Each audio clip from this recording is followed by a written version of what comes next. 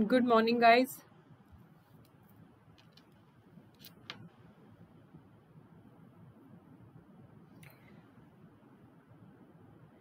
All clear? Hmm.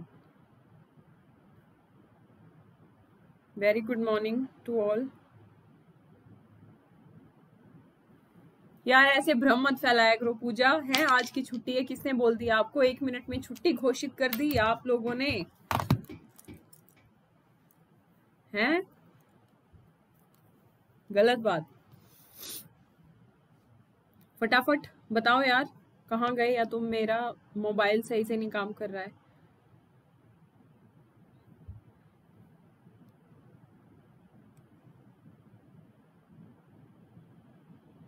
ठीक है, Rohit very good morning Afzal ma'am आपके लाडले स्टूडेंट आ गए।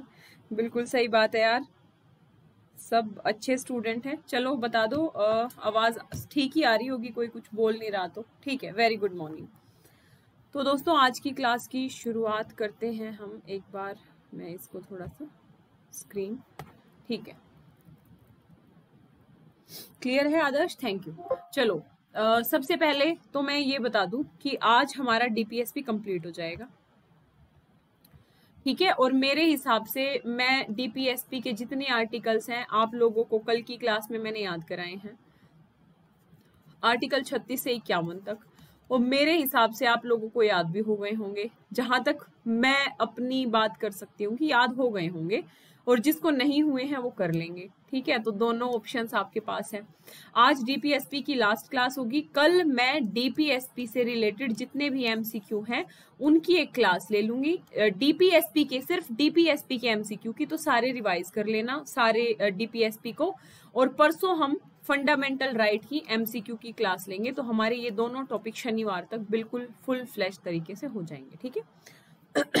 ठीक है। आगे बढ़ने से पहले अन अकेडमी के बारे में जान लेते हैं। दोस्तों जैसा कि आप सबको पता है आज अन अकेडमी देश भर में यूपीए दोस्तों जैसा कि आप सबको ये यार मेरा फ़ोन खराब हो गया है। मैं ही डर जाती हूँ ठीक है? तो आज यूपीएससी सीएससी के क्षेत्र में सबसे बड़ा लर्निंग प्लेटफॉर्म बन चुका है। यदि आप अन अकेडमी का सब्सक्रिप्शन लेते हैं तो आपको क्या क्या बेनिफिट मिलेंगे? आपको मिलती हैं डेली लाइव क्लासेस जिसके माध्यम से आप अपने एडुकेटर के साथ चैट कर सकते हैं डिस्कशन कर सकते हैं अपने डाउट क्लियर कर सकते हैं। आंसर पोल की सुविधा भी आपको मिलती है। स्ट्रक्चर्ड कोर्सेज यानी पीटी और मेंस के सिलेबस के हिसाब से इन अकेडमी ने अपने पूरे कोर्स को स्ट्रक्चर किया है। Live test and quizzes combat का आयोजन होने जा रहा है। फिर से इस संडे को सब लोगों को एनरोल करा लेना है ललिता वाईटी कोड के साथ। हिंदी में भी उपलब्ध होगा ये। ठीक है? अनलिमिटेड एक्सेस यानी एक बार यदि आपने अकेडमी का सब्सक्रिप्शन ले लिया तो मेरे साथ हर एक बैच को, हर एक एडुकेटर को आप सुन सकेंगे। इसलिए जब भी सब्सक्रिप्शन लेना है तो ललिता वाईटी कोड का यूज़ करना है। अन अकेडमी प्रदेश के सबसे बड़े एडुकेटर्स पढ़ाते हैं। दोस्तों, मैं ललिता, मुझे यूपीएससी के साथ एज एन असिस्टेंट प्रोफेसर सात वर्ष तक पढ़ाने का अनुभव है। जहाँ तक बात की जाए सिविल सेवाओं के क्षेत्र में, मेरे अनुभव की तो मुझे आईएएस के साथ अलग अलग स्टेट सिविल सर्विसेज़ के बारह मीन्स देने का अनुभव है। मुझे इंटरव्यूज़ का अनुभव है। मैंने अपना MA pol science international relation में किया है। यूजीसी नेट भी पोल साइंस और इंटरनेशनल रिलेशन में ही किया है। मेरा वैकल्पिक विषय हिस्ट्री रहा है और ये ये हमारा टेलीग्राम ग्रुप है basically Unacademy Lalita under Kumari. Unacademy underscore Lalita underscore Kumari, यहाँ पे आप लोग मेरे साथ जुड़ सकते हैं। मेरी सारी क्लासेस चाहे वो स्पेशल क्लास है यूट्यूब क्लास है, सब क्लासेस के लिंक सब क्लासेस का टाइमिंग आपको यहाँ पे मिल जाएगा। इसका ऑफ़र कल तक था। बाकी UPSC CSC mega subscription offer आपका 28 अप्रैल तक वैलिड है। यानी 12 महीने की फ़ीस में 15 से 16 महीने पढ़ने का आप लोगों को अवसर मिलेगा। इस मौके को हाथ से गंवाना नहीं है बेहतरीन मौका हो सकता है सब्सक्रिप्शन लेना है तो ललिता वाईटी कोड का यूज़ करेंगे टेन परसेंट डिस्काउंट मिलेगा और आपके सफलता तक मेरा व्यक्तिगत मार्गदर्शन मिलेगा।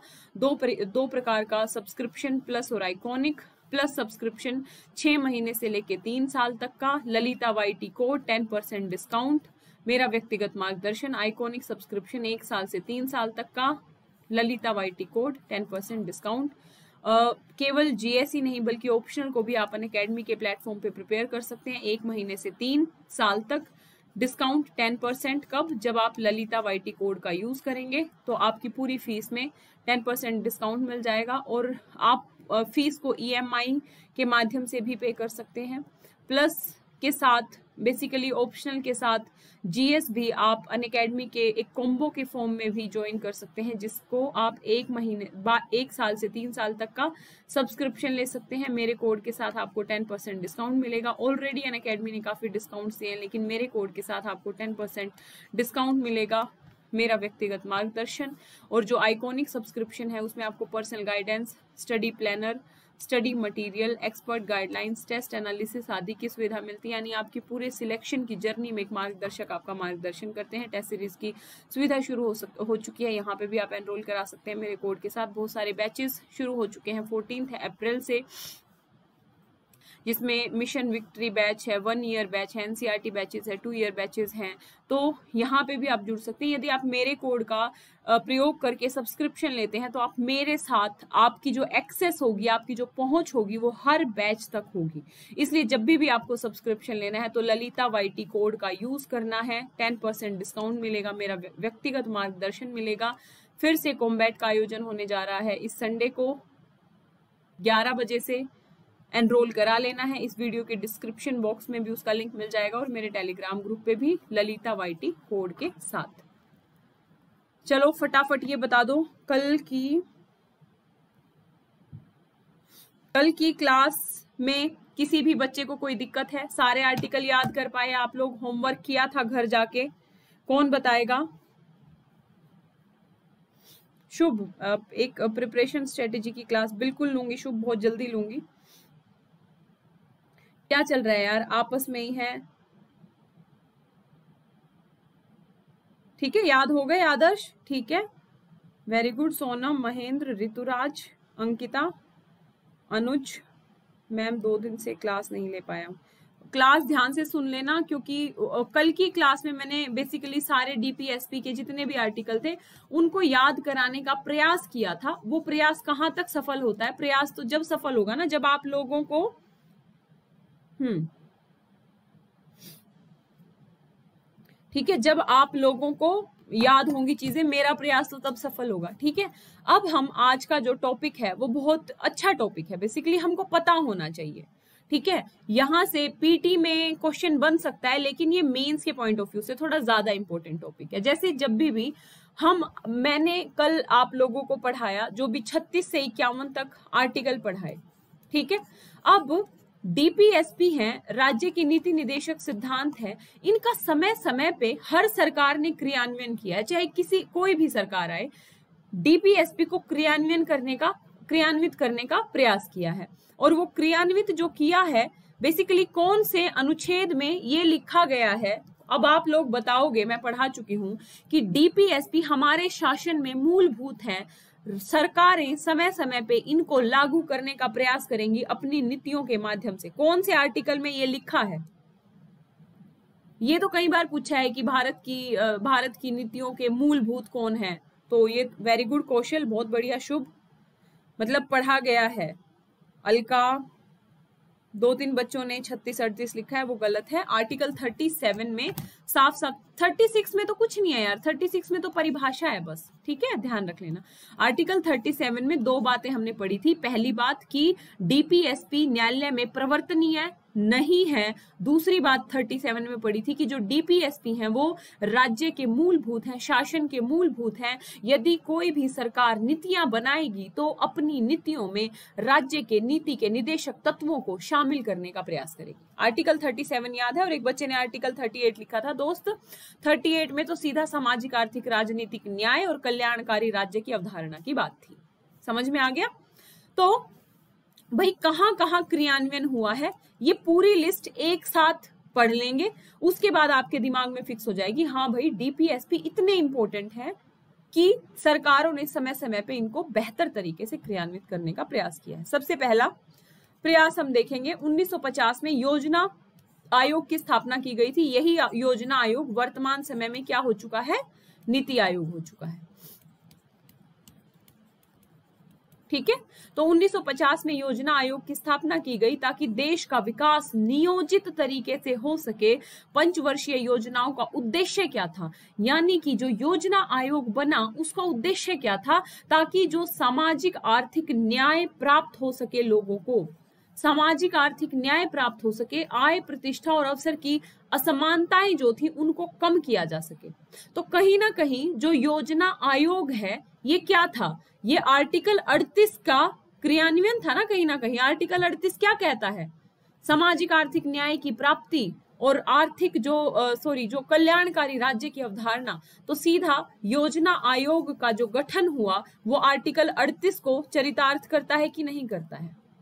सीधा सा क्वेश्चन है।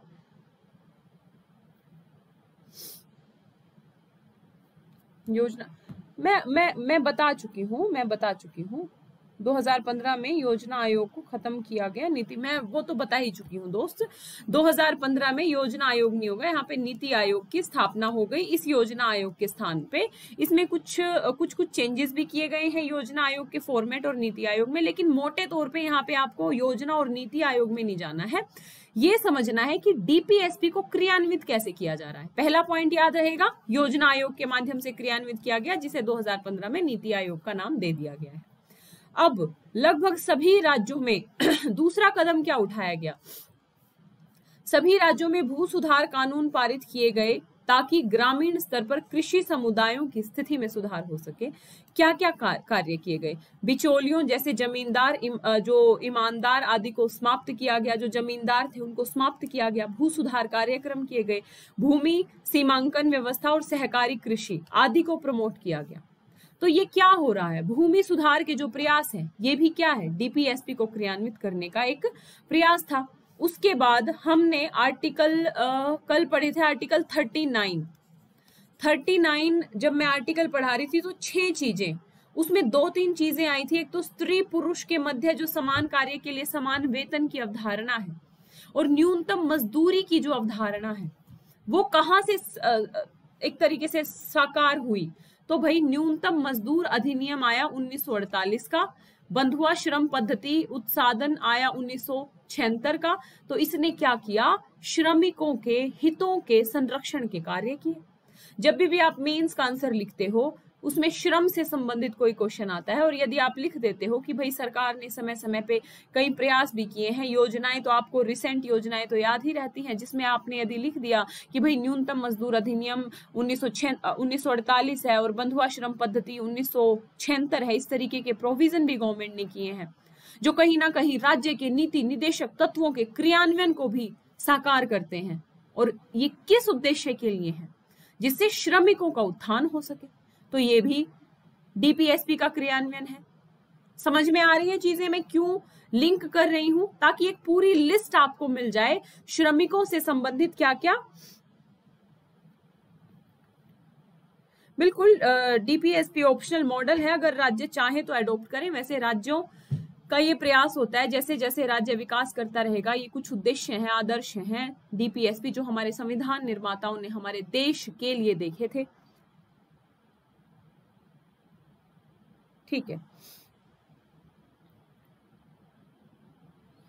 ठीक है? ध्यान रख लेना। अब उसके बाद क्या हुआ? 2006 में सरकार ने बाल श्रम पे प्रतिबंध लगा दिया। आर्टिकल 39 एफ़ याद करो। क्या था? 39 एफ़। बालकों की सुकुमार अवस्था का ध्यान रखा जाएगा। उनको शोषण आदि से उनका बचाव किया जाएगा। 39 एफ़ और 39 जो भी ये पांचवा और छठा दोनों 39 के जो प्रोविज़न है, ये बालकों की सुकुमार अवस्था से थे, बालकों की शोषण मुक्ति से थे। समझ रहे हो? तो बाल श्रम पे प्रतिबंध लगाया गया 2006 में भी। 2016 में बाल श्रम निषेध और विनियमन अधिनियम उन्नीस सौ छियासी का नाम बदल के 2016 में नया कानून लाई गवर्नमेंट। बाल श्रम निषेध विनियमन अधिनियम, ये क्या हो रहा है? ये कहीं ना कहीं डीपीएसपी का ही तो क्रियान्वयन हो रहा है। जब आप मेंस में आंसर लिखोगे, आपके पास ये सारे फैक्ट होंगे तो आप शानदार तरीके से अपना आंसर लिख सकते हो। एक एक आर्टिकल से जोड़ते हुए कि भाई आर्टिकल 39 एफ़ में ये प्रोविज़न था। गवर्नमेंट बाल श्रम निषेध और विनियमन अधिनियम उन्नीस सौ छियासी लाई। दो हज़ार सोलह में उसको अपने अकॉर्डिंग वर्तमान समय के अनुसार उसमें परिवर्तन किए। समझ में आ रहा है? यानी उसका नाम बदल के नाम बदला गया और बालकों को श्रम से मुक्ति का प्रयास किया गया गवर्नमेंट द्वारा, जो कि कहाँ का आदर्श था? जो कि हमारा डीपीएसपी का आदर्श था। इसके अलावा गवर्नमेंट ने क्या किया? प्रसूति सुविधा, ये बताओ, प्रसूति प्रसूति सुविधा का जो प्रोविज़न है डीपीएसपी के कौन से अनुच्छेद में किया गया है?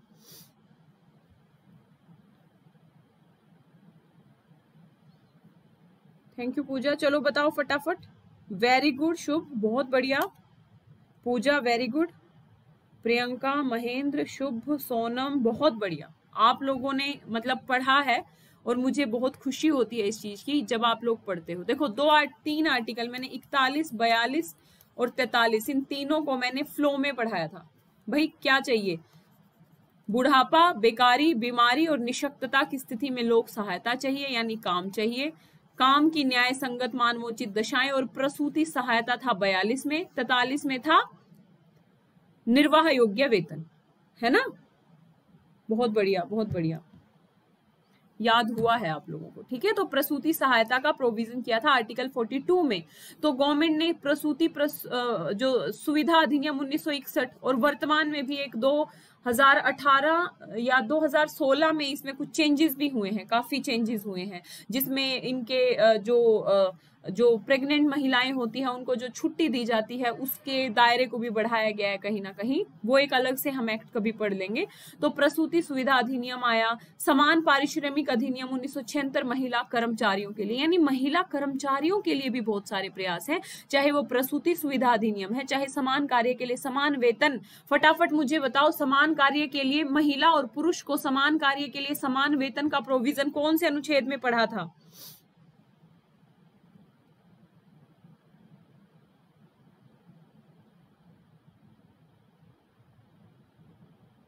नहीं।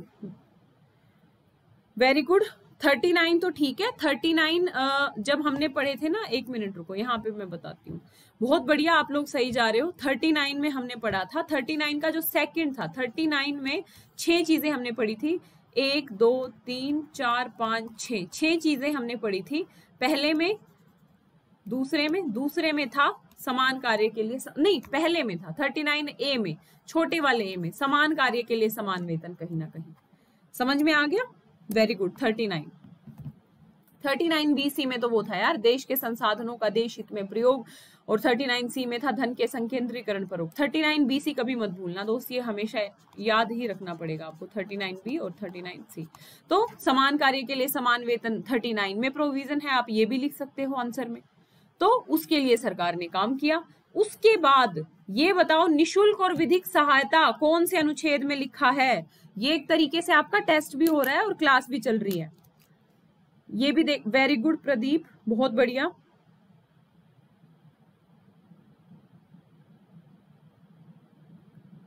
बहुत बढ़िया, ठीक है। नहीं नहीं नहीं फोर्टी फाइव कौन लिख रहा है? फोर्टी फाइव में तो शिक्षा, ध्यान रख लेना, बच्चों के उससे संबंधित है। बहुत बढ़िया। Thirty nine A. शानदार। थर्टी नाइन ए को जोड़ा गया था बयालीसवें संविधान संशोधन द्वारा और इस थर्टी नाइन ए में प्रोविज़न किया गया था। किसका? विधिक सेवा सॉरी निशुल्क और विधिक सहायता का। तो निशुल्क और विधिक सहायता का प्रोविज़न तो कर दिया। बयालीसवें संविधान संशोधन द्वारा।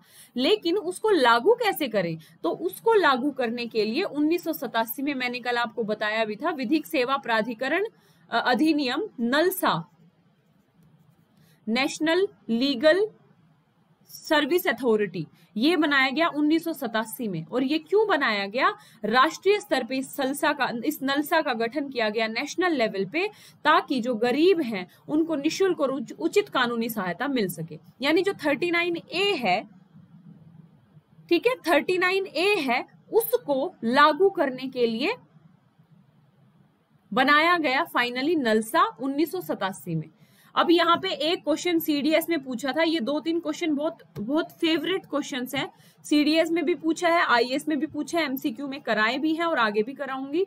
मुझे ये बताओ, ये जो नलसा होता है, नलसा जो उन्नीस सौ सतासी में गठित हुआ, ये क्वेश्चन पूछा जाता है, इस नलसा के अध्यक्ष कौन होते हैं? सीजेआई होते हैं कि कौन होते हैं? दो चीज़ें होती हैं, एक अध्यक्ष होता है, एक संरक्षक होता है।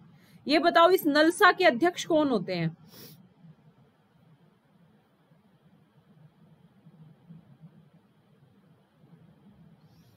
ध्यान रख लेना, मैंने जानबूझ के क्वेश्चन पूछा है, दो चीज़ें होती हैं, सुन लो ध्यान से। बीच में मुझे नलसा दिखा तो मैंने बताना ज़रूरी समझा क्योंकि वो क्वेश्चन दो से तीन बार पूछा है। फिर से पूछ सकता है, एक होता है संरक्षक। तो ध्यान रख लेना, इस नलसा के, इस नलसा के संरक्षक होते हैं CJI chief justice of India और इस नलसा के जो अध्यक्ष होते हैं, वो सुप्रीम कोर्ट के वरिष्ठतम जो न्यायाधीश होते हैं, वो होते हैं। यदि ये आप लोगों को, अब मैंने दो चीज़ें बताई, इस नलसा के संरक्षक होते हैं, चीफ जस्टिस ऑफ़ इंडिया, और इस नलसा के जो संरक्षक तो बता दिया सीजीआई, और इस नलसा के अध्यक्ष होते हैं, सुप्रीम कोर्ट के वरिष्ठतम न्यायाधीश। क्वेश्चन पूछा था एक बार सीडीएस में कि नलसा के अध्यक्ष सुप्रीम कोर्ट के चीफ जस्टिस ऑफ़ इंडिया होते हैं। सही बोला कि गलत बताया? गलत बोला। बताओ फटाफट। मैंने जो कथन बोला, सही है कि गलत है कि नलसा के अध्यक्ष सीजेआई होते हैं? क्या यार, क्या सुन रहे हो? बिल्कुल गलत बोला है। सही काहे बोल रहे हो भाई? मैंने गलत कथन बोला है। नलसा के अध्यक्ष, चीफ जस्टिस ऑफ़ इंडिया नहीं होते हैं। नलसा के संरक्षक सीजेआई होते हैं। नलसा के जो अध्यक्ष हैं, वो कौन होते हैं? वो सुप्रीम कोर्ट के सीनियर मोस्ट जज होते हैं, जो वरिष्ठतम न्यायाधीश होगा, वो अध्यक्ष होगा।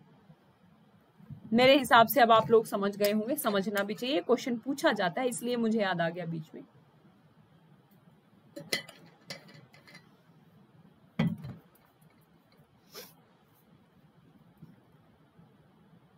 बिल्कुल। ठीक है? तो यहाँ तक हमने देखा यहाँ यहाँ क्रियान्वयन हुआ है 39 ए को। बेसिकली 39 ए का क्रियान्वयन किया गया उन्नीस सौ सतासी में नलसा बना के और ये ती, तीन लेवल पे काम करते हैं नलसा सलसा डलसा नलसा नेशनल लेवल पे सलसा स्टेट लेवल पे डलसा डिस्ट्रिक्ट लेवल पे। ठीक है? अब चलो। इसके अलावा समान न्याय को बढ़ावा देने के लिए लोक अदालतों का गठन किया गया। लोक अदालत संवैधानिक फोरम है जो कानूनी विवाद का निपटारा करते हैं, जो 39 ए था, निशुल्क और विधिक सहायता। तो निशुल्क और विधिक सहायता के लिए एक तरफ़ तो सरकार ने उन्नीस सौ सतासी में नलसा बना दिया, दूसरी तरफ़ लोक अदालतों का भी गठन किया गया ताकि सामान्य न्याय को बढ़ावा मिल सके, जो गरीब लोग हैं, उनकी न्यायालयों तक पहुँच हो सके। तो लोक अदालतों का जो गठन किया गया था दोस्तों, वो भी कहीं ना कहीं 39 ए को लागू करने के लिए किया गया। इसके अलावा ये जो लोक अदालतें हैं, इन्हें जन अधिकारों के समान स्तर दिया जाता है। इनके निर्णय मानने की बाध्यता होती है और इनके फैसलों के विरुद्ध कहीं पे कोई अपील नहीं की जा सकती। पीटी लिख लेना, यहाँ से लोक अदालतों से बार बार क्वेश्चन पूछा गया है। मैं कराऊँगी जब आई के अलग से कराऊँगी। एक बार तो मिक्सअप करा रही हूँ। एक बार फिर अलग अलग भी क्वेश्चन कराऊँगी, ताकि एकदम रटे जाए क्वेश्चंस आपके। दिमाग में एकदम कंसेप्चुअल क्लियरिटी हो जाए। तो लोक अदालतों से बहुत क्वेश्चन पूछे जाते हैं। ठीक है? तो ध्यान रख लेना लोक अदालतों में जब भी, भी कोई मामला जाएगा तो दोनों पक्षों की सहमति से जाएगा पहली बात। और यदि लोक अदालत ने कोई फैसला दे दिया तो वो बाध्यकारी होगा मानना और उस फैसले के खिलाफ अपील नहीं की जाएगी किसी भी न्यायालय में।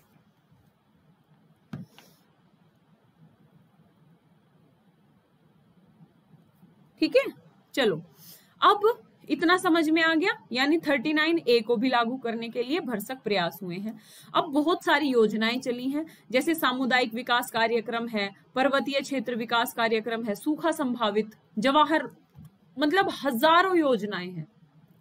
जिसमें आप देखोगे कि महिलाओं से संबंधित या ग्रामीण क्षेत्रों के विकास से संबंधित, रोज़गार से संबंधित अनुसूचित जात तो ये जितनी भी योजनाएँ हैं जितनी भी, ये किसका क्रियान्वयन कर रही है? जब आप आंसर लिखोगे, आपको जो भी योजना याद आ जाए कि भाई ये कहाँ से रिलेटेड है तो ये डीपीएसपी के क्रियान्वयन से रिलेटेड है, ताकि जो डीपीएसपी की संकल्पना है, वो चरितार्थ हो सके।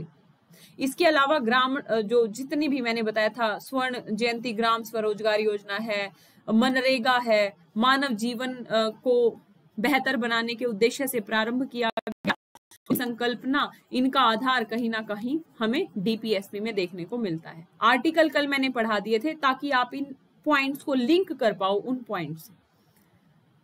ठीक है? फिर अब मुझे फटाफट ये बताओ, पर्यावरण संरक्षण का प्रोविज़न डीपीएसपी के कौन से आर्टिकल में किया गया है? बिल्कुल आयरलैंड से लिया गया है यार, इसमें कोई बताओ फटाफट। जो पर्यावरण संरक्षण का प्रोविज़न है, वो वेरी गुड आदर्श। बहुत बढ़िया। 48 नहीं आएगा 48 ए आएगा। 48 नहीं आएगा, ध्यान रख लेना। 48 ए, अड़तालीस ए में पर्यावरण संरक्षण की बात है। तो पर्यावरण संरक्षण, और मैंने आप लोगों को बार बार ये तीन चीज़ें बार बार पूछी जाती हैं, यूपी पीसीएस दे लोगे या फिर आईएएस बार बार पूछी जाती हैं। बयालीस में संविधान संशोधन द्वारा मोटे तौर पे थर्टी ए, जो बता चुकी हूँ, निःशुल्क विधिक सहायता, फोर्टी ए, उद्योगों के प्रबंधन में कर्मकारों का, उद्योगों के प्रबंध, उद्योगों के प्रबंधन में कर्मकारों की भूमिका 43 ए और 48 ए। जिसमें पर्यावरण संरक्षण। तो इस पर्यावरण संरक्षण को बढ़ावा देने के लिए या इसको चरितार्थ करने के लिए क्या किया गया? वन्य जीव संरक्षण अधिनियम उन्नीस सौ बहत्तर, वन संरक्षण अधिनियम उन्नीस सौ अस्सी और ये दोनों अधिनियम जो वन्य जीव संरक्षण अधिनियम उन्नीस सौ बहत्तर है और उन्नीस सौ अस्सी का है, इन दोनों एक्ट को आप एनवायरमेंट में भी आपको डीपली पढ़ना पड़ेगा। ठीक है? तो आपके कुछ वहाँ से पॉइंट्स याद रह जाएँगे तो आपको पता होगा कि भाई ये भी प्रयास किए गए हैं डीपीएसपी को क्रियान्वित करने के लिए ताकि पर्यावरण का संरक्षण हो सके वन्य जीवों का संरक्षण हो सके। और ये संरक्षण का जो आदर्श है, ये रखा गया है 48 ए में 48 ए में, जो कि डीपीएसपी है। ठीक है तो उसके क्रियान्वयन के लिए भी प्रयास किए गए। उसके बाद आर्टिकल 48 हमने पढ़ा था, कृषि को आधुनिक बनाना, ठीक है? हाँ यही था। 48 में था, कृषि को आधुनिक बनाएँगे। कृषि उपायों में सुधार के अलावा जो बीज, खाद, सिंचाई सुविधा उपलब्ध कराई, पशु चिकित्सा की बात थी इसमें, गायों और जो ये थे, आपके गाय बछड़े, उनके वध का निषेध था, उनकी नस्लों में सुधार की बात थी। ये सारे प्रोविज़न थे अड़तालीस में। तो इसके लिए भी काम किया है। बहुत सारे कदम उठाए गए हैं। कृषि आधुनिकीकरण के लिए बहुत सारी योजनाएँ चल रही हैं। समझ रहे हो ना? और पशुओं की चिकित्सा से संबंधित बहुत सारी योजनाएँ चल रही हैं। तो ये किसका क्रियान्वयन है? डीपीएसपी का क्रियान्वयन है, सीधे तौर पे। यानी अड़तालीस का भी क्रियान्वयन हो रहा है। अगर आपको आर्टिकल याद नहीं होते तो आपको समझ में नहीं आती चीज़ें। अब आप पढ़ रहे हो तो आर्टिकल से रिलेट कर रहे हो। हाँ यार, सही बात है। आर्टिकल 48 में साफ़ साफ़ ये बातें लिखी है, उसका क्रियान्वयन भी हुआ है। 48 ए में पर्यावरण संरक्षण है, क्रियान्वयन भी हुआ है। उनतालीस ए का एग्ज़ाम्पल मैं दे ही चुकी हूँ और बाकी बहुत सारे एग्जाम्पल्स दे चुकी हूँ। उसके बाद मुझे बताओ, पंचायती राज की संकल्पना कौन से अनुच्छेद में है?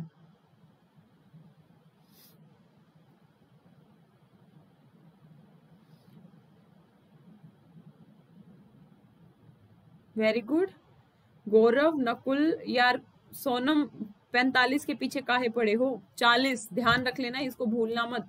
आर्टिकल चालीस में ये पीसीएस का तो फेवरेट क्वेश्चन है कि कौन से अनुच्छेद में त्रिस्तरीय पंचायती राज व्यवस्था का उल्लेख किया गया तो अनुच्छेद चालीस में। ठीक है तो अनुच्छेद चालीस पहले डीपीएसपी में लिखा था।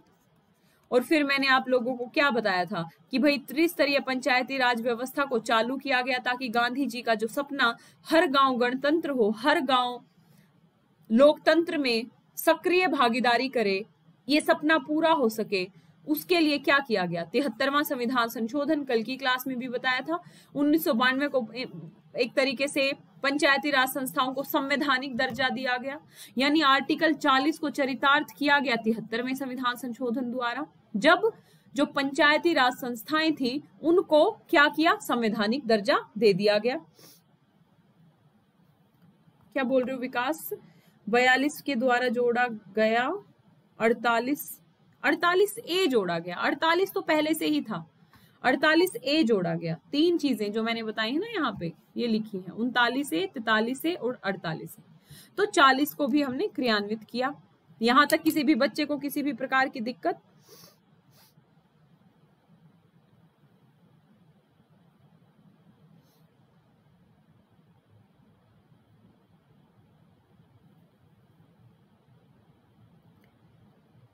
क्या बोल रहे हो यार देवेंद्र? आपकी सेवेंथ क्लास का यार मुझे याद नहीं है मेरी सेवेंथ क्लास कौन सी थी। ऑनेस्टली बता रही हूँ, नहीं याद है, ठीक है?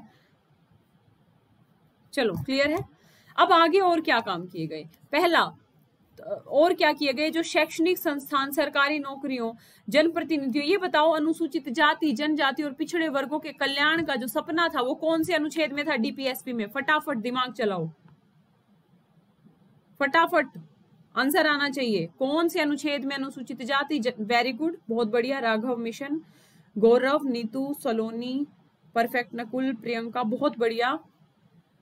कुछ बच्चे 45 के पीछे पड़े हुए हैं। 45 लिखे जा रहे हैं। 45 नहीं होगा दोस्तों। एकदम क्लियर लिखा है छियालीसवें अनुच्छेद में। बहुत शानदार। पढ़ के आए हो। यानी छियालीसवें अनुच्छेद में क्या लिखा है? अनुसूचित जाति, जनजाति, पिछड़े वर्गों के कल्याण के काम करेगा। तो शैक्षणिक संस्थानों, सरकारी नौकरियों प्रतिनिधि निकायों में जो अनुसूचित जाति है, जनजाति है, कमज़ोर वर्गों के लिए सीटों को सुरक्षित किया गया। तो ये किसका क्रियान्वयन हो रहा है? अनुच्छेद 46 का। उसके बाद अस्पृश्यता अधिनियम 1955 को बाद में सिविल अधिकार संरक्षण अधिनियम उन्नीस में नया नाम दिया गया। बेसिकली अनुसूचित जातियों के साथ जो भी शोषण होता है, उसकी मुक्ति के लिए अलग अलग कानून बनाए गए ताकि अनुसूचित जाति, जनजाति और पिछड़े वर्गों का कल्याण हो सके और उनकी शोषण से मुक्ति हो सके।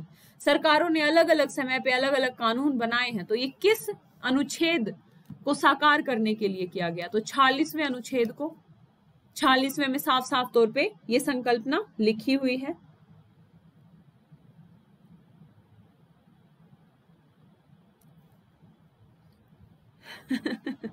सही बात है, पैंतालीस के पीछे हाथ धोके पड़े हैं सब।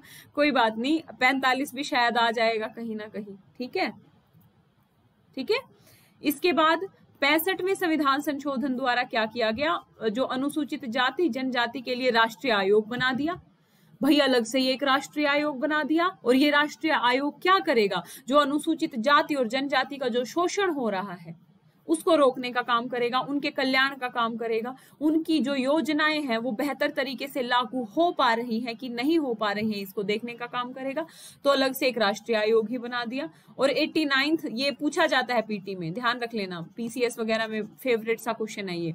नवासीवें संविधान संशोधन द्वारा क्या किया गया? ये जो संयुक्त आयोग था, और ये मैं संविधान संशोधन की सूची में भी कराया है मैंने, ये नवासीवा संविधान संशोधन।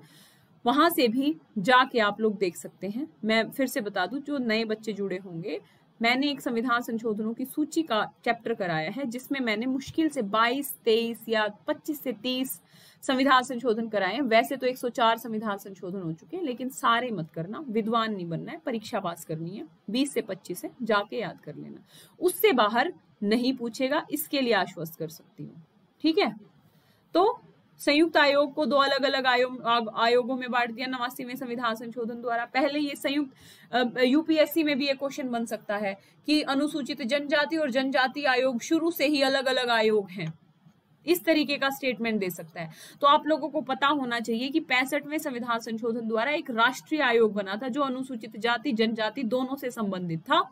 नवासी में संविधान संशोधन द्वारा इन दोनों आयोगों को अलग अलग कर दिया गया। एक हो गया राष्ट्रीय अनुसूचित जाति आयोग और एक हो गया राष्ट्रीय अनुसूचित जनजाति आयोग। इनको सबको हम पढ़ेंगे। तो भाई, ये क्या कर रहे हैं? ये कहीं ना कहीं आर्टिकल 46 को क्रियान्वित करने का प्रयास किया जा रहा है। फिर अनेक राष्ट्रीय स्तर पर आयोगों का गठन समाज के कमज़ोर वर्गों को, उसमें क्या था? आर्टिकल 46 में अनुसूचित जाति, जनजाति और जो पिछड़े वर्ग हैं जो कमज़ोर वर्ग हैं, उनके संवर्धन, उनके हितों के संवर्धन के लिए प्रयास की बात थी।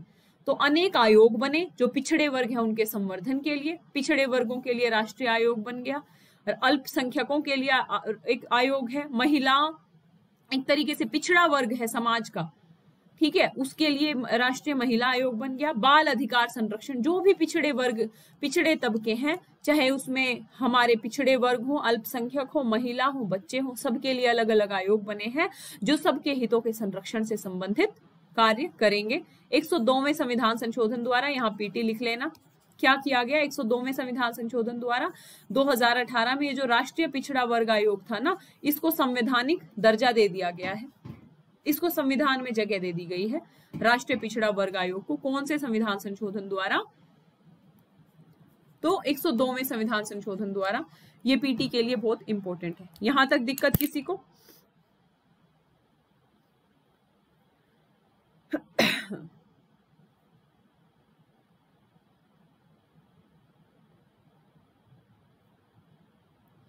Thank you Pooja. यदि आप लोगों को मेरे पढ़ाने का तरीका अच्छा लग रहा है। वीडियो को लाइक कर दिया कीजिए, शेयर कर दिया कीजिए अपने अपने स्टेटस पे। अपने अपने फेसबुक पे, ठीक है? तो यहाँ तक दिक्कत नहीं है। थैंक यू उसके बाद एक क्वेश्चन यहाँ से बनता है। 2009 में केंद्र सरकार ने आर्थिक रूप से कमज़ोर वर्गों के लिए 10 परसेंट आरक्षण की व्यवस्था की है। पता है हमको? जो शैक्षणिक जो शैक्षिक संस्थान में ईडब्ल्यूएस e भारत की जो असैन्य पदों और सेवाओं में ये कौन से संविधान संशोधन द्वारा पीटी लिख लेना? तो 103वें संविधान संशोधन द्वारा जो आर्थिक रूप से पिछड़े वर्ग हैं ईडब्ल्यूएस e है इकोनॉमिक वीकर सेक्शन है, उनके लिए आरक्षण का प्रोविज़न किया गया 103वें संशोधन द्वारा। तो ये किसका क्रियान्वयन हो रहा है? लिंक करो चीज़ों को। ये डीपीएसपी का क्रियान्वयन हो रहा है। आर्टिकल 46 में साफ़ तौर पे लिखा गया अनुसूचित जाति, जनजाति और पिछड़े वर्ग। और ये जो पिछड़े वर्ग है, ये अलग अलग आधार पे पिछड़े हो सकते हैं ना? कोई जाति के आधार पे पिछड़ा हो सकता है, कोई पैसे के आधार पे पिछड़ा हो सकता है, कोई वर्ग के आधार पे पिछड़ा हो सकता है। मान लो महिला है। बोला जाता है ना कि समाज का यदि हम सबसे पिछड़े तबके को निकाले ना, ढूंढ के कि कौन सा सबसे पिछड़ा तबका है, और उस पिछड़े तबके में भी सबसे पिछड़ा वर्ग यदि हम खोजें तो वो महिला होगी। इस तरीके की लाइंस को हम ऐसे में प्रयोग करेंगे। तो महिलाओं के कल्याण का काम कहीं ना कहीं हो रहा है, उसके लिए अलग आयोग बनाया जा रहा है तो ये सब क्या हो रहा है? आर्टिकल 46 का क्रियान्वयन हो रहा है। आपस में ही वार्ता, दो मिनट नहीं देखूँगी तो वार्ताएँ शुरू हो जाती है। ठीक है? तो बिल्कुल सही बात है, राघव मिशन बहुत बढ़िया। दिव्यांगों के लिए अलग अलग योजनाएँ हैं। एक जो बहुत फ़ेमस योजना थी, मैं उसका बहुत ही फ़ेमस योजना है यार दिव्यांगों के लिए। मोदी गवर्नमेंट ने वो जारी की थी। हालाँकि भूलना नहीं चाहिए मुझे उसका नाम। तो ये इस तरीके की जो भी योजनाएँ हैं, ये किसका क्रियान्वयन हो रही हैं? अच्छा ये बताओ, दिव्यांग का आपने नाम लिया, मुझे ये बताओ, कौन से अनुच्छेद में दिव्यांगों से संबंधित संरक्षण की बात की गई है? दिव्यांग, निशक्त शब्द का ज़िक्र कौन से अनुच्छेद में किया गया है? कौन बताएगा? बहुत बढ़िया मनीष, सलोनी बहुत बढ़िया। मैंने कल आप लोगों को फोकस होके बताया था 41 और ये भी बताया था यदि दिव्यांगों से संबंधित कोई क्वेश्चन आता है मेंस में, और आपने यदि आर्टिकल 41 का ज़िक्र किया तो इम्पैक्ट बहुत अच्छा पड़ेगा। एग्जामिनर को लगेगा, यार, बच्चा कैसे लिंक कर रहा है चीज़ों को? आर्टिकल इकतालीस में साफ़ तौर पर लिखा है, शानदार, पढ़ के आए हो। बड़ी खुशी हुई मुझे, मुगैम्बो खुश हुआ। क्योंकि बहुत अच्छा लगता है जब आप लोग पढ़ के आते हो, क्योंकि मैं मेहनत करती हूँ तो मेरा उद्देश्य है कि आप लोग भी मेहनत करें, ठीक है? शानदार, ठीक है?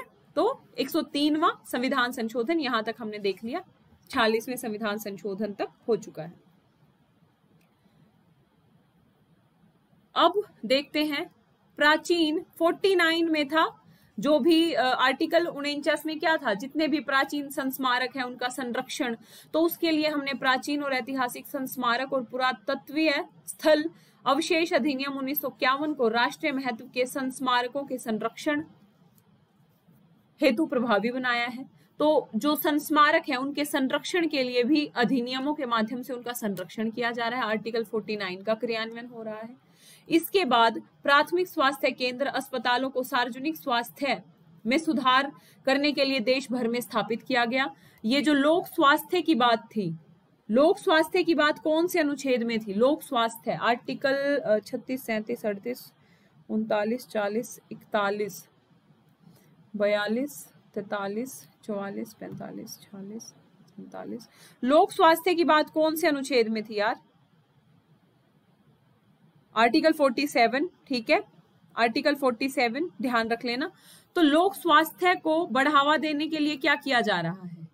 क्या किया जा रहा है? प्राथमिक स्वास्थ्य केंद्र है, अस्पताल है, सार्वजनिक जो स्वास्थ्य को बढ़ावा दिया जा रहा है, जो भी खतरनाक बीमारियाँ हैं, उनके लिए अलग अलग तरीके की योजनाएँ चलाई जा रही हैं, चाहे मलेरिया से संबंधित योजनाएँ हैं, टीबी से संबंधित आपको अलग अलग हॉस्पिटल्स मिल जाएँगे ठीक है, कुष्ठ रोग है, एड्स है, कैंसर है, फाइलेरिया, कालाजार, जितने भी जो जापानी बुखार समाप्त करने के लिए विशेष योजनाएँ प्रारंभ की गई तो ये किसको क्रियान्वित करने के लिए की गई? ये कब हम लिंक कर पाएँगे जब हमें आर्टिकल्स याद है? और पॉलिटी में आपको ज़्यादा कुछ नहीं करना है, लेकिन कुछ अनुच्छेद आपको याद होने चाहिए। भाई आप पॉलिटी पढ़ रहे हो, आप भविष्य में आईएएस बनोगे आईपीएस बनोगे, अपने अपने क्षेत्रों में जो भी आपके कार्य होंगे, उनका संपादन अच्छे से करोगे तो उसके लिए पता भी तो होना चाहिए। हमारे संविधान के आदर्श क्या है, संकल्पनाएँ क्या है, उद्देश्य क्या है, कहाँ कहाँ है तो इसलिए आपका दायित्व बनता है कि कुछ अनुच्छेद आपको याद हो। और मेरा उद्देश्य रहता है, मैं क्लास में ही याद करा दूँ आप लोगों को, और आप लोग बहुत मेहनत कर रहे हो, मुझे खुशी हुई, आप लोग याद भी करते हो, ठीक है? इसका सीधा सा मतलब है, आप रिवाइज करते हो चीज़ों को जाके। ठीक है? तो ये आर्टिकल 47 को लागू करने का प्रयास हो रहा है। फिर कुछ राज्यों में गायों, बछड़ों, बैलों को काटने पर कानूनी प्रतिबंध लगाया गया। बताओ कौन से अनुच्छेद इस तरीके का क्वेश्चन बन सकता है? कुछ राज्यों में गायें, बैलों, बछड़ों को काटने पर कानूनी प्रतिबंध लगाया गया। निम्न संविधान निम्न अनुच्छेद के तहत, कौन से अनुच्छेद के तहत? बहुत बढ़िया। सोनम, एम, क्रैकर, नकुल, बहुत ही बढ़िया। महेंद्र सोनम, सलोनी, उमेश, शानदार, ठीक है? तो आर्टिकल 48 के द्वारा सीधे तौर पे लिखा है, अनुच्छेद 48 में साफ़ साफ़ लिखा है कि भाई, गाय हैं, बछड़े हैं, उनके वध का प्रतिषेध किया जाएगा, उनकी नस्लों में सुधार करने का प्रयास किया जाएगा। तो आर्टिकल 48 शानदार, मन खुश हो गया मेरा, ये देख के आपको पता है। सीधा पीटी में क्वेश्चन पूछा जा सकता है आपसे।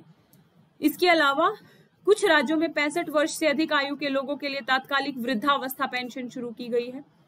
वृद्धों के कल्याण के लिए बहुत सारी योजनाएँ चलाई जा रही है। ये कौन से अनुच्छेद में आएगा? बताओ फटाफट। चार चीज़ें थी। कौन से अनुच्छेद में वृद्धों के कल्याण की संकल्पना की बात बहुत बढ़िया यार। प्रियंका, गौरव, मनीष महेंद्र पाल पन्नालाल, नेहा, बहुत ही बढ़िया। आर्टिकल 41 में चार आधार थे। चार आधार थे क्या? बेकारी मतलब बेरोजगारी, बुढ़ापा, वृद्धावस्था बेगारी सॉरी बेकारी, बेरोजगारी, निशक्तता और एक और वर्ड था यार, बेकारी, बुढ़ापा। क्या वर्ड था? बेकारी, बुढ़ापा, बेरोजगारी, नहीं, बेरोजगारी तो बेकारी ही हो गया। निशक्तता, यानी दिव्यांगता का ज़िक्र था। और एक और वर्ड है उसमें। ध्यान रख लेना। मतलब चार वर्ड्स है और उसी में वृद्धावस्था की बात है। यानी वृद्धों के कल्याण करने के लिए बीमारी, सी, ठीक है, बीमारी, बेरोजगारी मतलब बीमारी, बेकारी, बुढ़ापा और निशक्तता। बहुत बढ़िया। चारों शब्द किसने लिख के प्रियंका बंजारे, बहुत ही शानदार। तो ये आर्टिकल इकतालीस का क्रियान्वयन हो रहा है। आप लोगों से अब अगला लेवल यही पूछा जा सकता है कि भाई जो पैंसठ वर्ष से अधिक आयु के जो लोग हैं उनको वृद्धावस्था पेंशन शुरू की गई है। ये वास्तव में किस अनुच्छेद का को चरितार्थ करने की संकल्पना है? तो आपको पता होना चाहिए यार फटाफट आर्टिकल इकतालीस में लिख, लिखा गया है बुढ़ापा शब्द। फिर भारत ने गुट निरपेक्ष नीति एवं पंचशील की नीति को अंतरराष्ट्रीय शांति एवं सुरक्षा को बढ़ावा देने के लिए अपनाया। ये किस अनुच्छेद को साकार करने के लिए किया गया? कौन से अनुच्छेद?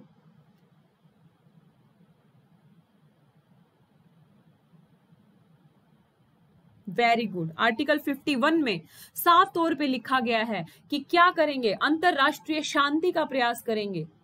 और किसी भी विवाद की स्थिति में मध्यस्थता की बात करेंगे। आर्टिकल 51 सीधे तौर पे, जो भी इस प्रकार की नीतियाँ होंगी, चाहे गुट निरपेक्षता की नीति है, पंचशील की नीति है, जो अंतरराष्ट्रीय सहयोग को, अंतरराष्ट्रीय समन्वय को बढ़ावा देती है, वो सारे आ जाएँगे आर्टिकल इक्यावन के तहत। बहुत ही शानदार। उसके बाद केंद्र और राज्य सरकारों द्वारा उपरोक्त कदम उठाए जाने के बावजूद निदेशक तत्वों को अब तक हमने बहुत सारे पॉइंट्स को पढ़ा जिसमें हमने मैक्सिमम आर्टिकल्स को लागू करने के क्या क्या प्रयास किए गए हैं, ये सब हमने देखा। मैं रिवाइज भी कराऊँगी, धैर्य बनाए रखना।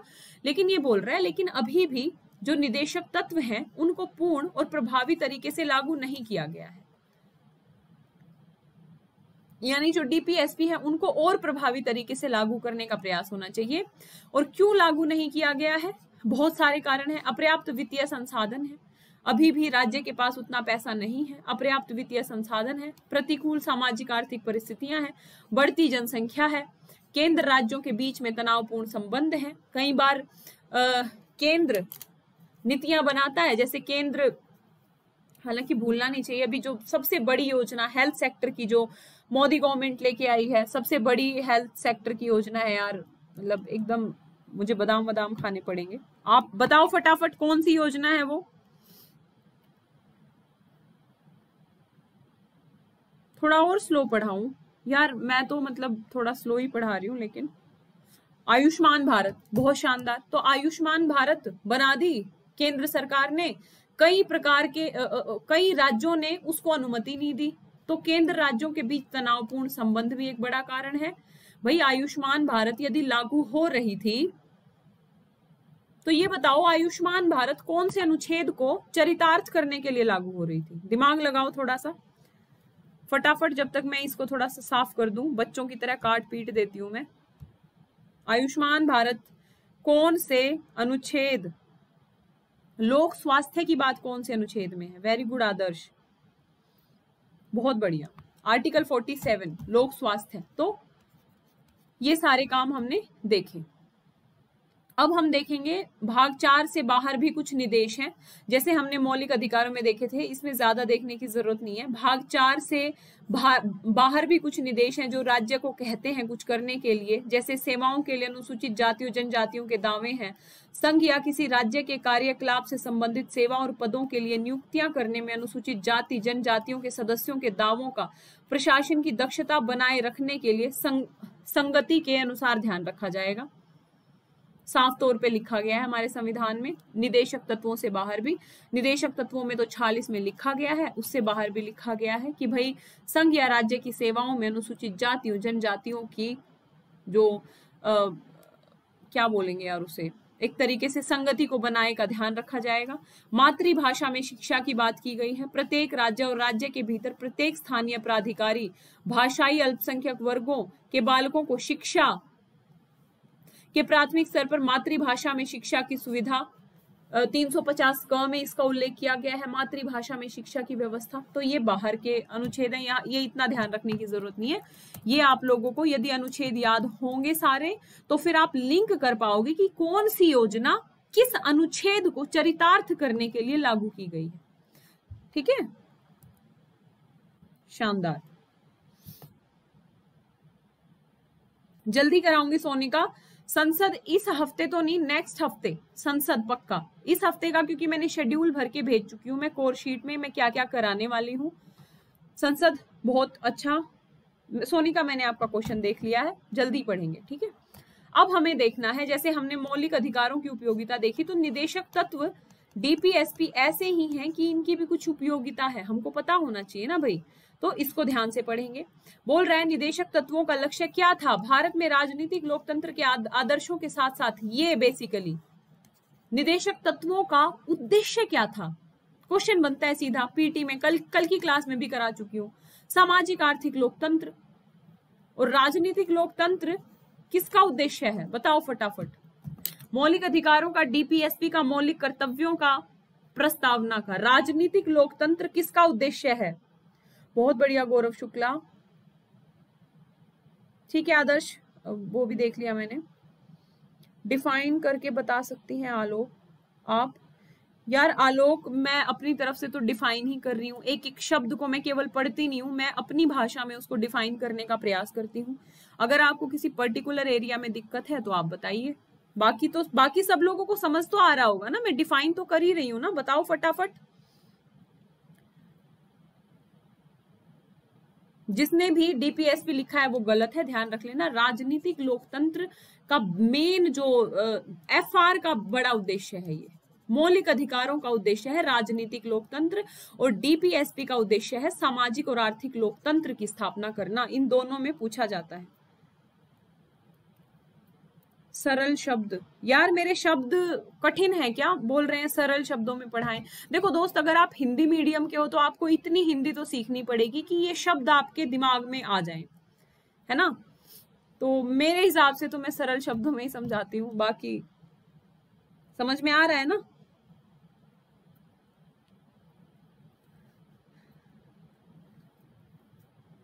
क्लियर है? बहुत इजी है, अब कुछ बच्चों को ये टफ लग रहा है। कोई नहीं, लेकिन इतनी हिंदी आप बीस तीस क्लासें कर लो, आपकी हिंदी भी अच्छी हो जाएगी। और ज़रूरी है, अगर हिंदी मीडियम के हो, आप कोई भी भाषा अगर पे पकड़, कोई भी भाषा चूज़ करते हो ना, एक मिनट में आपके इस टॉपिक से इतर ले लेती हूँ। कोई भी भाषा यदि आप चूज़ करते हो तो उस भाषा के ऊपर आपकी पकड़ होनी चाहिए। आपके पास कुछ कुछ अच्छे शब्द होने चाहिए, जो आप अपने आंसर राइटिंग में यूज़ करते हो।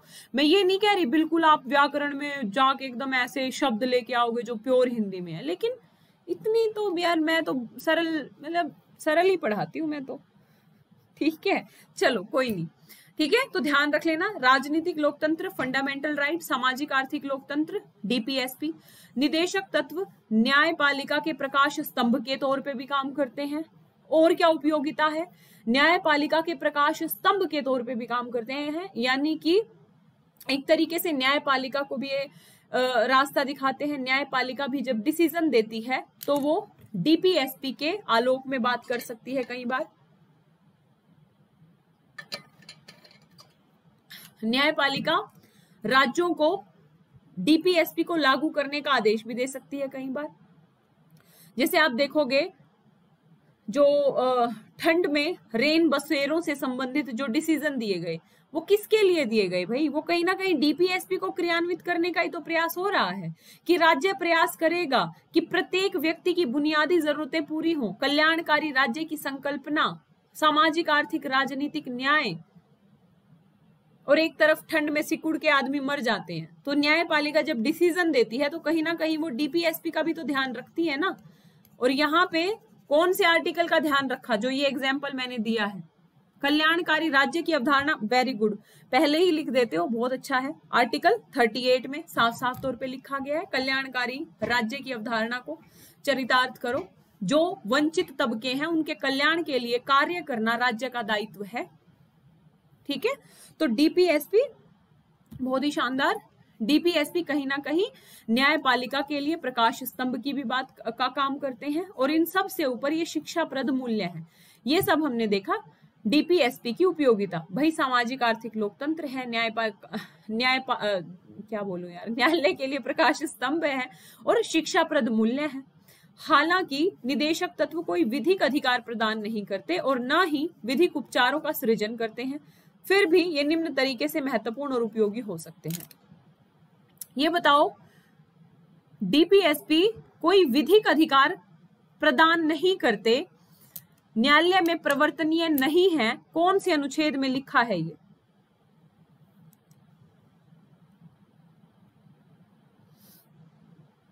Very good Alok.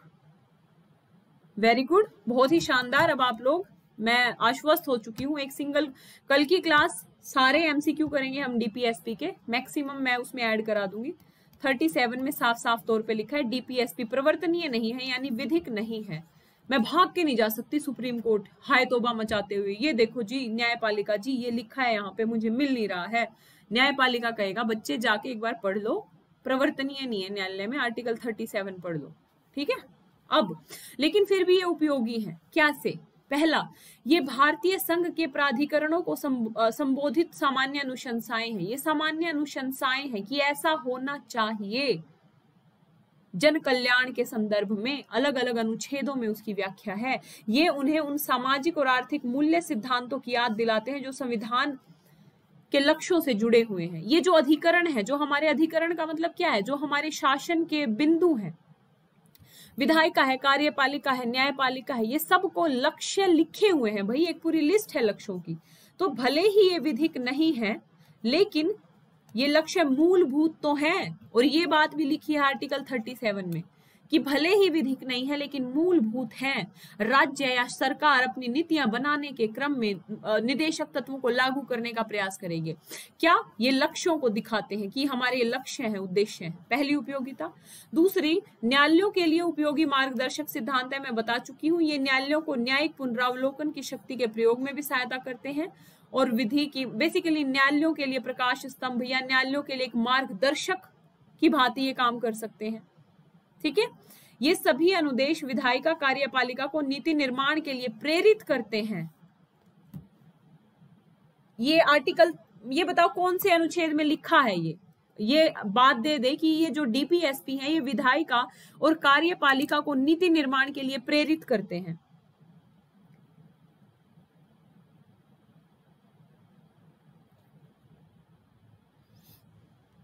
क्या कर रहे हो यार? एक भी बच्चे का अभी तक नहीं आया यहाँ पे उन प्राधिकरणों की बात नहीं हो रही है आलोक आप प्राधिकरण में गलत चले गए। प्राधिकरण वो होते हैं, हमारे प्रशासनिक प्राधिकरण होते हैं, न्यायिक प्राधिकरण होते हैं।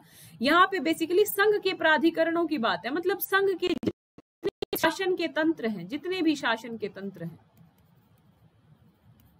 जो भी नीतियाँ बनाएँगे, उनके लिए अनुशंसाएँ हैं ये। वो प्राधिकरण आप अलग चले गए। 323 में मैं अलग से पढ़ाऊँगी आपको। एक भी बच्चे ने अभी तक सही आंसर नहीं दिया। ध्यान रख लेना, सैतीस में ये बात लिखी है। सैतीस में लिखी है ये बात। क्या लिखा है कि विधायिका और कार्यपालिका को नीति निर्माण के लिए प्रेरित करेंगे, यानी कि शासन में मूलभूत होंगे। डीपीएसपी विधायिका और कार्यपालिका जब भी भी कोई नीति निर्माण करेगी तो डीपीएसपी को लागू करने का प्रयास करेगी। याद आ गया थर्टी सेवन दो ही बातें थी आर्टिकल थर्टी सेवन में।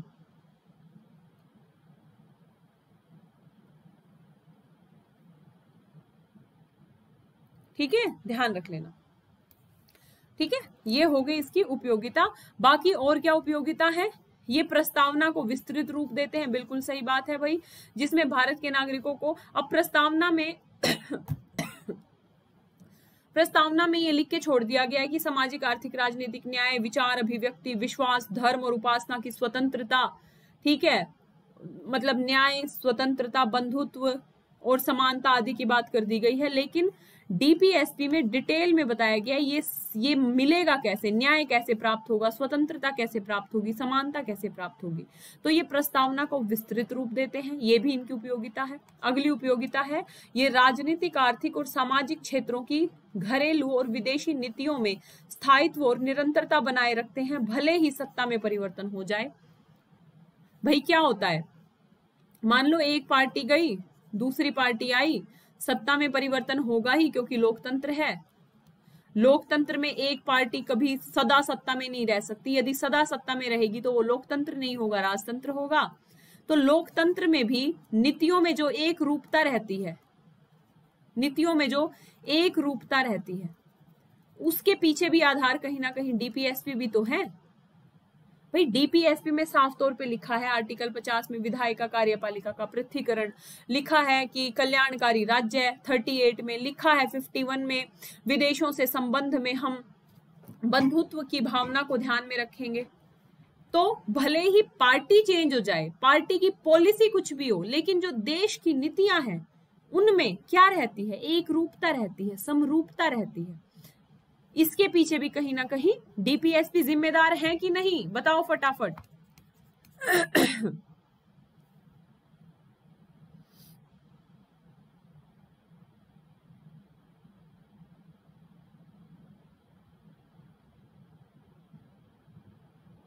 ठीक है? ध्यान रख लेना।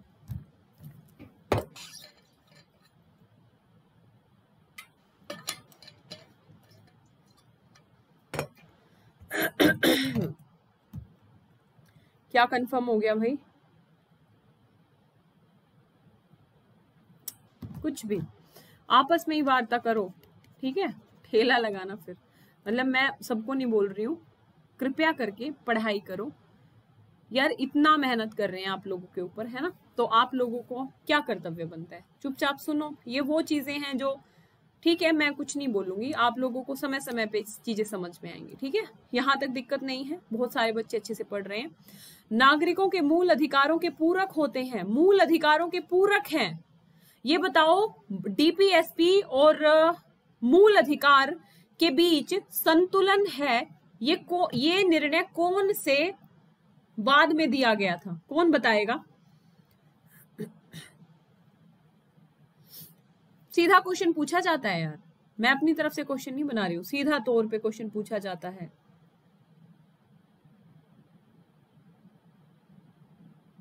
मिनरवा मिल्स वाद है याद आपको? Very good I S Raj Tiwari, बहुत बढ़िया। केशवानंद में नहीं, मिनरवा मिल्स में बेसिकली पहली बार इनके संतुलन की बात की गई थी। ध्यान रख लेना, मिनरवा मिल्स पूरक होते हैं। इनके द्वारा सामाजिक, आर्थिक अधिकारों की व्यवस्था करते हुए इस रिक्तता को पूरा करने का प्रयास किया गया है। भाग तीन और भाग चार राजनीतिक लोकतंत्र के साथ आर्थिक लोकतंत्र को संभव बनाते हैं। यानी दोनों संतुलन पे आधारित हैं, ठीक है? और ये अगला इंपॉर्टेंस क्या है? विपक्ष द्वारा सरकार पर नियंत्रण को संभव बनाते हैं, लागू करने के लिए दबाव बना सकता है। विपक्ष ये कहेगा कि भाई सरकार पाँच साल से पार्टी में हो, क्या किया डीपीएसपी को लागू करने के लिए? तो सरकार बता सकती है, जी, हमने ये ये काम किए तो कि कहीं ना कहीं विपक्ष के नियंत्रण को मज़बूत बनाता है और ये आम राजनीतिक घोषणा पत्र की तरह होते हैं कि हाँ हम सत्ता में आएँगे तो हम ये ये ये ये काम करेंगे। ठीक है? तो ये सारी चीज़ें हमने देखी कि इनकी उपयोगिता क्या है? इनकी उपयोगिता से संबंधित कोई दिक्कत नहीं है तो मुझे बता दो। फिर यहाँ से हम पढ़ेंगे, यहाँ से एक बच्चे ने कहा था, मैम, दोनों में अंतर भी बताना। तो मैंने वो भी बताने का प्रयास करना है यहाँ पे, क्योंकि यहाँ से भी क्वेश्चन बनता है। बताओ, फटाफट थम्सअप दे दो। फटाफट। ठीक है, समझ में आ गया? रिवाइज भी करेंगे। ठीक है, चैप्टर ग्यारह, यार, चैप्टर मुझे ऑनेस्टली मुझे याद नहीं रहते। मैंने किस चैप्टर में पढ़ाया था? ठीक है। अब हम देखेंगे मूल अधिकार, कहा गया मार्कर ये रहा। मूल अधिकार और डीपीएसपी के बीच में अंतर क्या है? डिफरेंसेस क्या है? वैसे तो हमें सब पता है क्योंकि हम पढ़ चुके हैं ऑलरेडी लेकिन एक जगह लिखा होगा तो आपको ज़्यादा दिमाग लगाने की ज़रूरत नहीं पड़ेगी। सबसे पहले तो उदारवादी दर्शन पे आधारित है जो व्यक्ति और उनके अधिकारों को संरक्षण प्रदान करते हैं फंडामेंटल राइट्स और ये जो नीति निदेशक तत्व हैं, ये अलग अलग विचारधाराओं पे, जो कि मैं बता चुकी हूँ, कल्याणकारी समाजवादी, मोटे तौर पे तीन, समाजवादी, गांधीवादी और उदारवादी। तो जहाँ पे मौलिक अधिकार उदारवादी विचारधारा पे आधारित है, ये गांधीवादी, समाजवादी और उदारवादी में डिवाइड करते हैं। मैं बता भी चुकी हूँ आप लोगों को।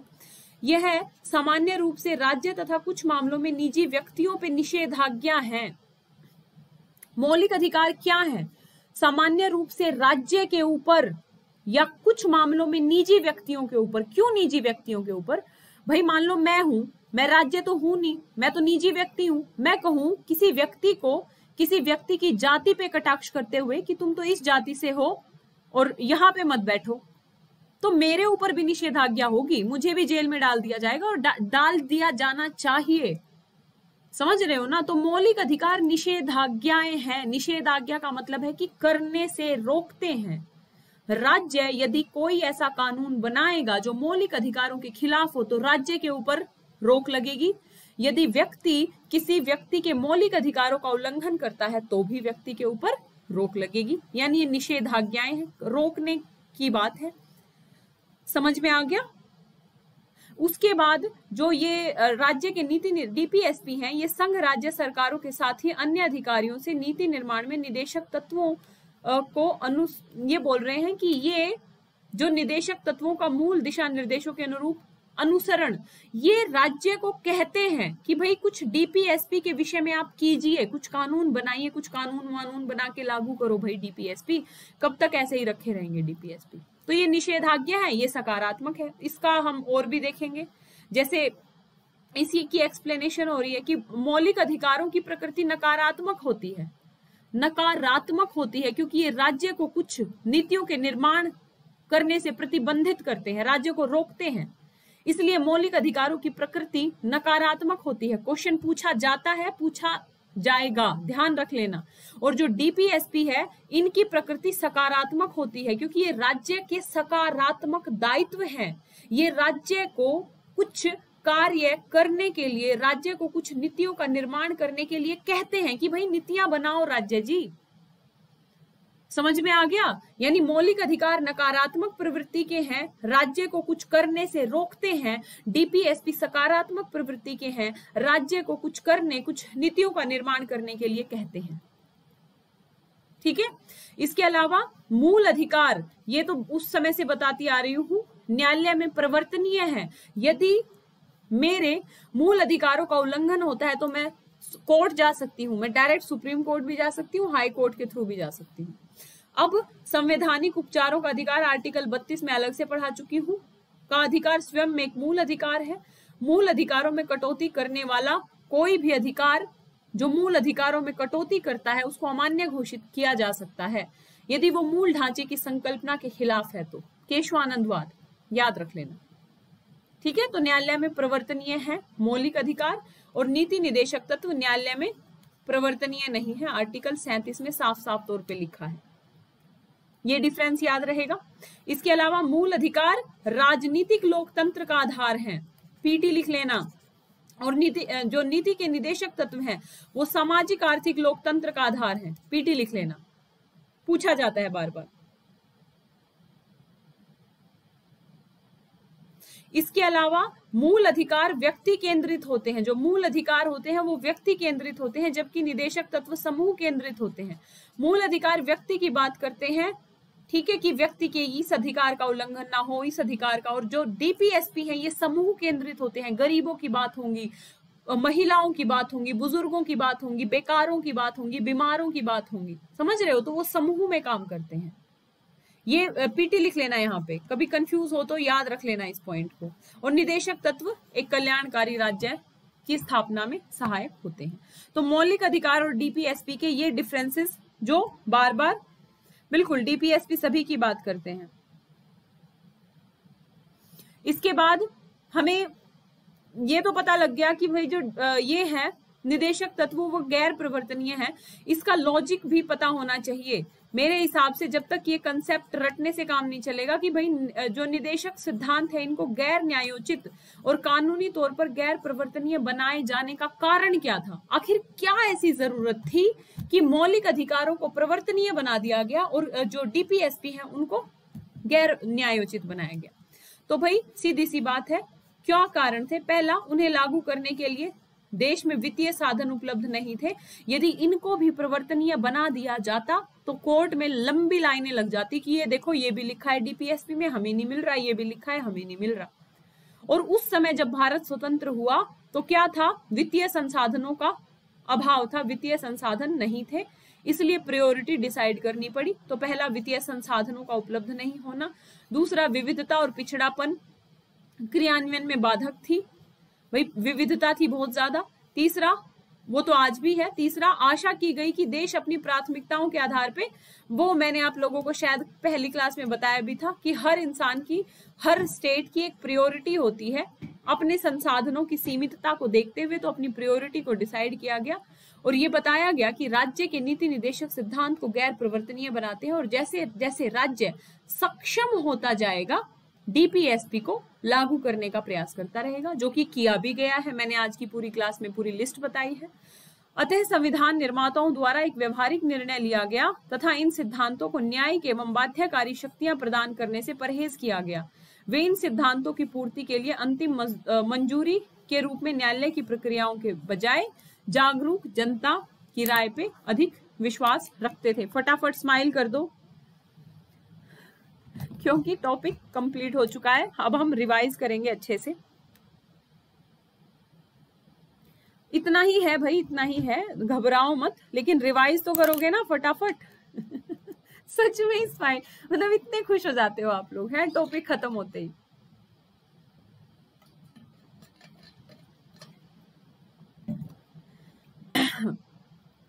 आराम से अपने अपने घरों में लेटे हुए हो, हैं? फ़ैन चला के कूलर चला के। और हमें बोलना पड़ रहा है, खुश तो हमें होना चाहिए, हैं? खुश आप हो रहे हो, उल्टा हो रहा है यहाँ पे।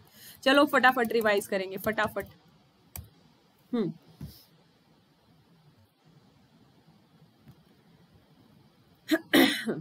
चलो फटाफट। सबसे पहले हमने देखा कि क्रियान्वयन की बात है तो 1900 अलग अलग क्विक रिवीजन करूँगी, आप लोगों को समझा चुकी हूँ।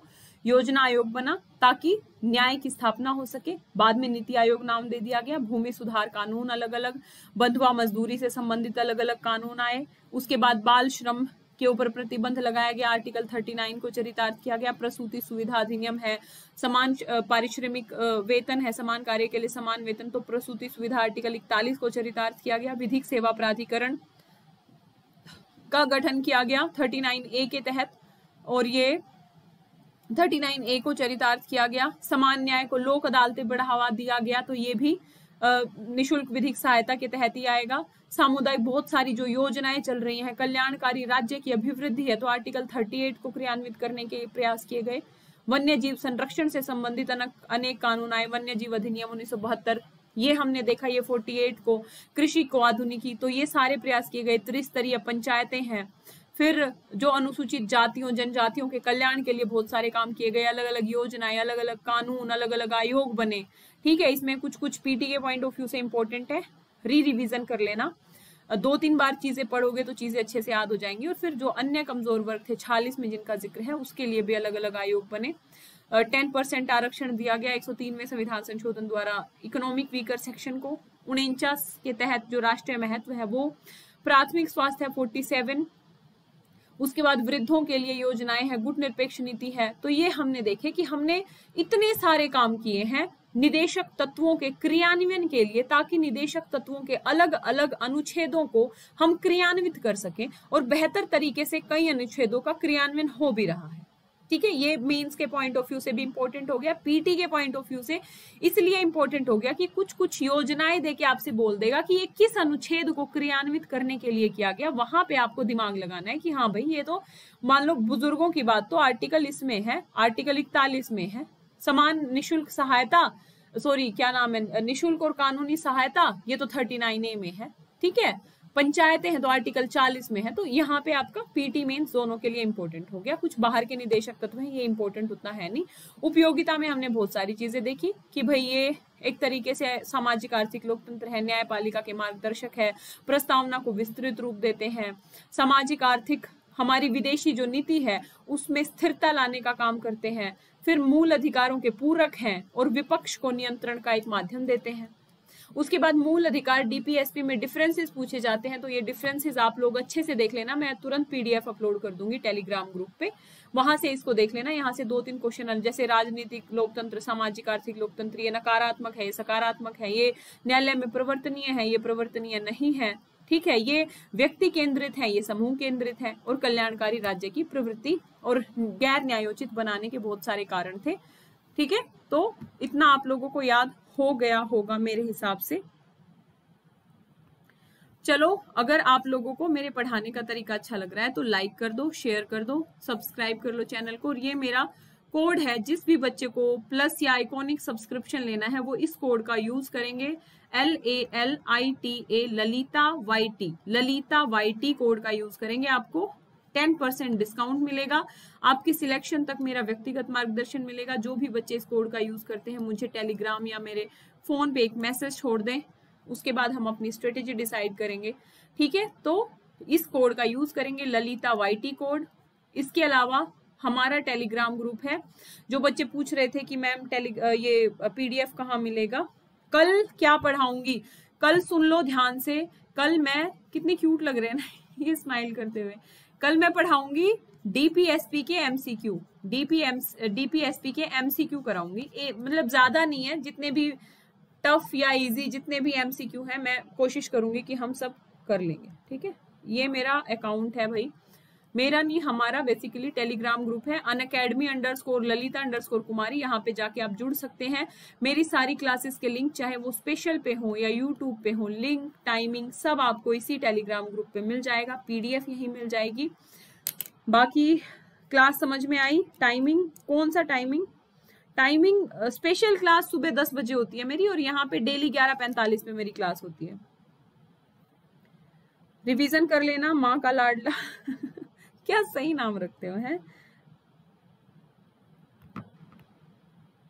Thank you thank you so much स्वस्थ रहिए, मस्त रहिए, अपना ध्यान रखिए, कोरोना एक भयंकर आपदा है सेकंड वेव बहुत खतरनाक है। इसमें सब लोग सुरक्षित रहें और मेरा यही आग्रह है कि एकदम ध्यान रखें अपना, क्योंकि अगर थोड़े से भी बीमार हो गए तो 10-15 दिन खिंच जाएँगे और अभी इतना हमारे पास टाइम है नहीं, पीटी नज़दीक है कि हम इतना रिस्क लें। तो ध्यान रखो दोस्तों, मिलते हैं कल सुबह दस बजे, उसके बाद ग्यारह पैंतालीस पे।